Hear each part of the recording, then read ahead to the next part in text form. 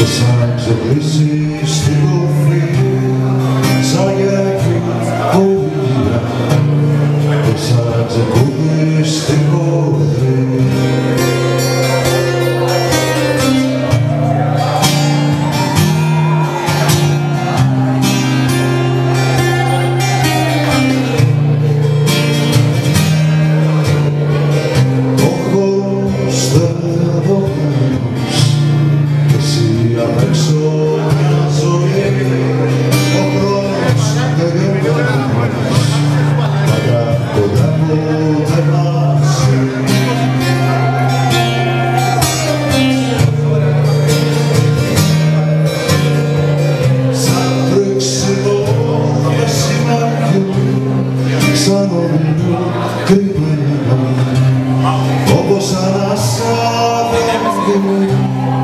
southern affair.